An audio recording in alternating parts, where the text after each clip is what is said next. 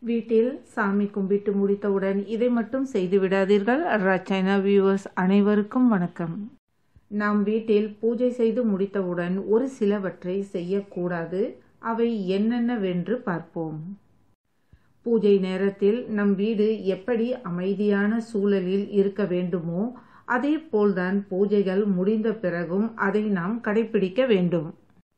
அதே போல்தான் வீட்டில் பூஜைகள் செய்து முடித்தவுடன் வீட்டை கூட்டவும் துடைக்கவும் கூடாது. அப்படி அவசியம் தேவைப்பட்டால் ஒன்று அல்லது இரண்டு மணி நேரம் கழித்து சுத்தம் செய்து கொள்ளலாம்.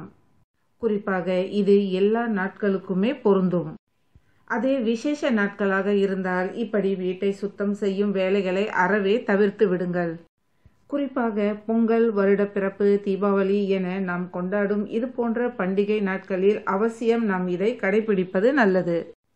இதனை நாம் ஏன் கடைபிடிக்க வேண்டும் என்று வலியுறுத்துகிறோம் என்றால் ஒவ்வொரு முறையும் நாம் பூஜைகள் முடித்தவுடன் நம் வீடுகளில் தெய்வ சக்தியானது நிறைந்திருக்கும்.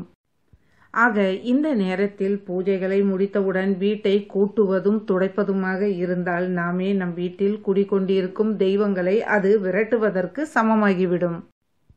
அடுத்து சாதாரண நாளாகட்டும் அல்லது விசேஷ நாட்களாகட்டும் வீட்டில் நாம் பூஜைகள் முடித்தவுடன் நம் வீட்டில் இருக்கும் எந்த ஒரு பொருளையும் இனமாகவோ அல்லது கடனாகவோ யாருக்கும் கொடுப்பதை முடிந்தவரை தவிர்த்து விடுங்கள் அப்படி கொடுக்க வேண்டிய சூழ்நிலையில் இருந்தால் ஒன்று அல்லது இரண்டு மணி நேரம் கழித்து கொடுப்பது நல்லது.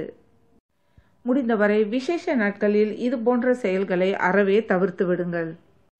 இதில் குறிப்பிட்டு சொல்ல வேண்டியவை என்றால் பணம் சமையலுக்கு பயன்படுத்தும் பொருட்கள் மற்றும் பூஜை பொருட்கள் ஆகியவையாகும். ஆயினும் நம் வீட்டில் விசேஷ பூஜைகள் செய்தோமானால் அப்பொழுது நம் வீட்டிற்கு வந்தவர்களுக்கு தாம்பூலம் பூ வளையல் குங்குமம் நெய்வேத்தியம் ஏன் அன்னதானமும் கொடுக்கலாம். காரணம் இவர்கள் அனைவருமே நாம் கொடுப்பதை பெற்றுக்கொண்டு அதே சமயம் சிறிது நேரம் அமர்ந்த பின்னரே அவர் தம் வீடுகளுக்கு செல்பவர்களாக இருப்பார்கள்.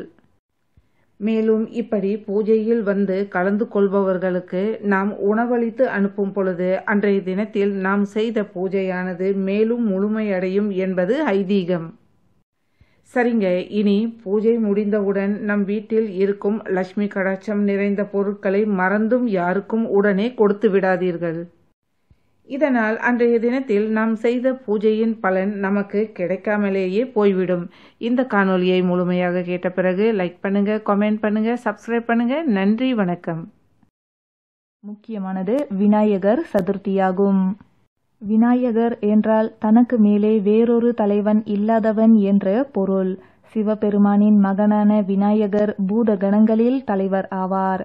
அதனால் அவருக்கு கணபதி என்ற பெயரும் உண்டு. அனைத்திற்கும் முழுமுதற் கடவுளாக விளங்கும் விநாயகர் அவர்